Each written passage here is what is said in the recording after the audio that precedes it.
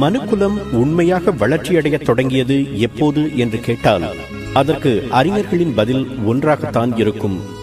மனிதன் எப்போது ஏன் என்று கேள்வி கேட்கத் தொடங்கினானோ அப்போதுதான் மனுக்குலம் முன்னேறத் தொடங்கியது. உலகில் இதுவரை நிகழ்ந்திருக்கும் எல்லா கண்டுபிடிப்புகளுக்கும் ஓர் ஒற்றுமை உண்டு. அத்தனைக்கும் வித்திட்டது ஏன் என்ற கேள்விதான். விதண்டாவாதத்துக்காக எழுப்பப்பட்ட கேள்விகள் அல்ல. புரியாததை புரிந்து கொள்வதற்காகவும் அறியாததை அறிந்து கொள்வதற்காகவும் கேட்கப்பட்ட கேள்விகள். அவ்வாறு எழுப்பப்பட்ட ஒரு கேள்வி ஒரு குடும்பத்தில் பிறக்கும் குழந்தைகள் எல்லாம் ஏன் ஒரே சாயலாக இருக்கின்றன என்பது.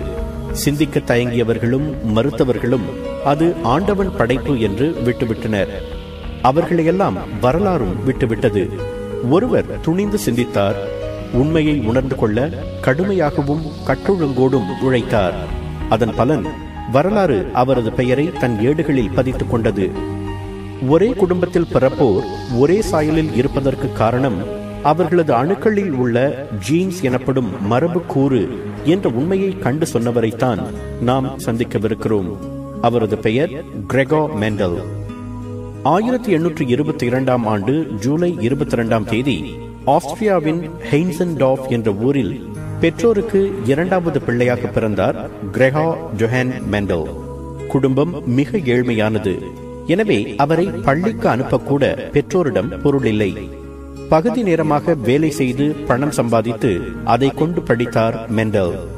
பள்ளியில் நன்றாக படித்த அவர் தனது இருபத்தோராவது வயதில் மேல் படிப்புக்காக புனித தாமஸ் மடாலயத்தில் சேர்ந்தார்.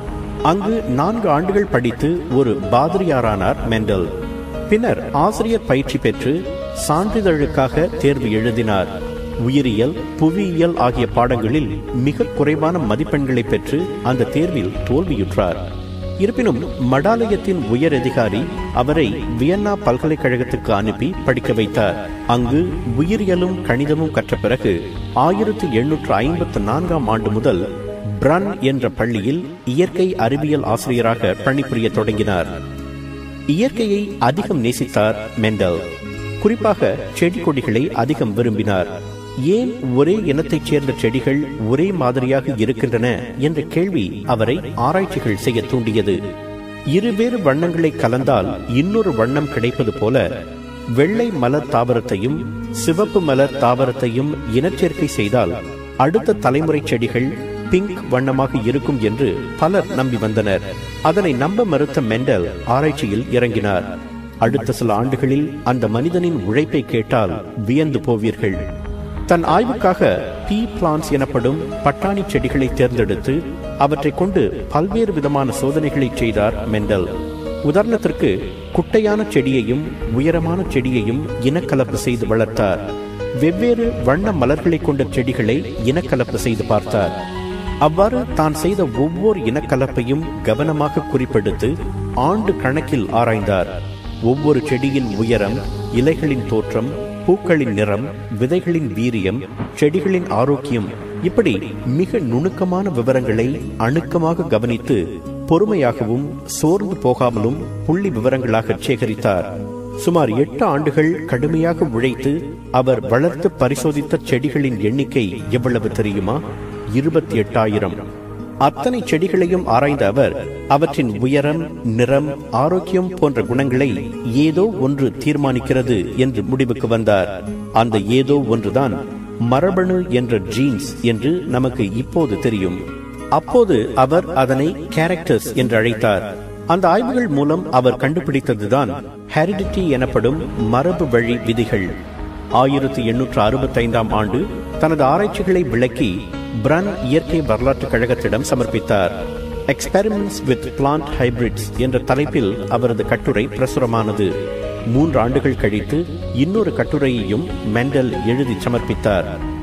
உயிரினங்கள் அனைத்திலும் மரபு தொடர்ச்சி இருப்பதற்கு மரபு கூறுகள்தான் காரணம் என்றும் பெற்றோரிடமிருந்து பிள்ளைகளுக்கு அந்த மரபு கூறுகள் செல்கின்றன என்றும் மரபு கூறுகள் இணையாக செயல்படுகின்றன என்றும் இரண்டு மரபுக்கூறுகள் ஒரு பண்பை நிர்ணயிக்கின்றன என்றும் எந்த மரபுக்கூறு வீரியமாக இருக்கிறதோ அந்த மரபுக்கூறு அடுத்த தலைமுறைக்கு செல்கிறது என்றும் வீரியம் குறைந்த மரபுக்கூறு அடுத்தடுத்த தலைமுறைகளில் வெளிப்படலாம் என்றும் அவர் அந்த கட்டுரைகளில் விளக்கியிருந்தார்.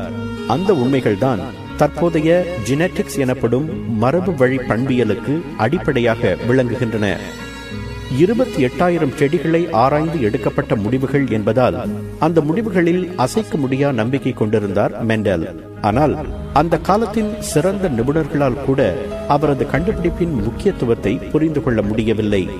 மெண்டலின் தத்துவம் சமகால விஞ்ஞானிகளின் சிந்தனைகளை விட வெகு தூரம் முன்னேறியிருந்தது. காலத்தை முந்திய கவிஞன் என்ற சொற்றொடரை கேள்விப்பட்டிருப்பீர்கள். மெண்டலோ காலத்தை விஞ்சிய விஞ்ஞானியாக இருந்தார். அதனால் அவரது கட்டுரைகளும் முடிவுகளும் கிட்டத்தட்ட மறக்கப்பட்டு புறக்கணிக்கப்பட்டன. அந்த சமயம் மடாலயத்தின் தலைமை பொறுப்பு மெண்டலுக்கு கிடைக்கவே நிர்வாக பணிகள் காரணமாக அவரால் தனது தாவர ஆராய்ச்சிகளை தொடர முடியவில்லை. ஆயிரத்தி எண்ணூற்று எண்பத்தி நான்காம் ஆண்டு ஜனவரி ஆறாம் தேதி தனது அறுபத்தோராவது வயதில் அவர் காலமான போது அவரது அளப்பரிய ஆராய்ச்சி முடிவுகளை உலகம் கிட்டத்தட்ட மறந்து போயிருந்தது.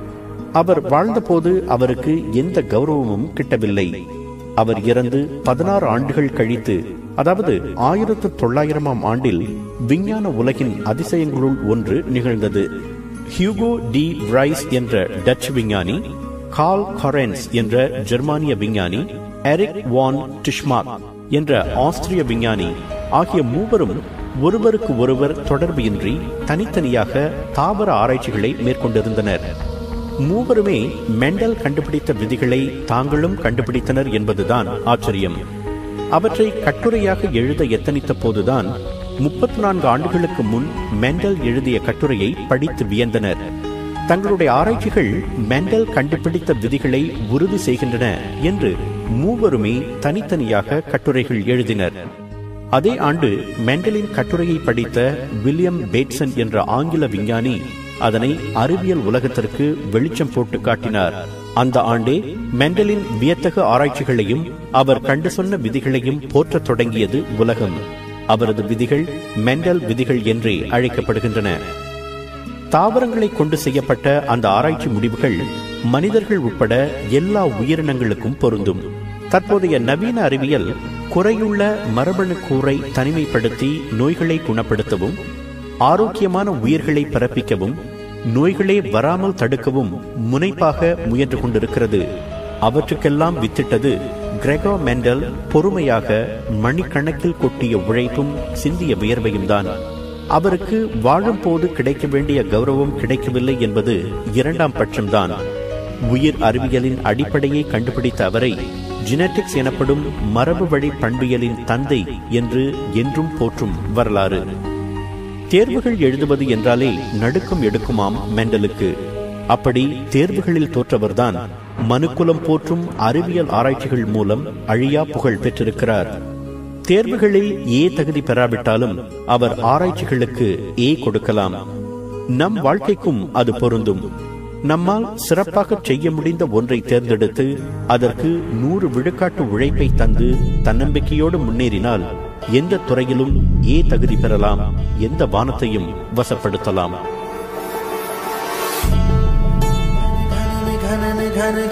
வானம் வசப்படுமே. தொன்னூற்றாறு புள்ளி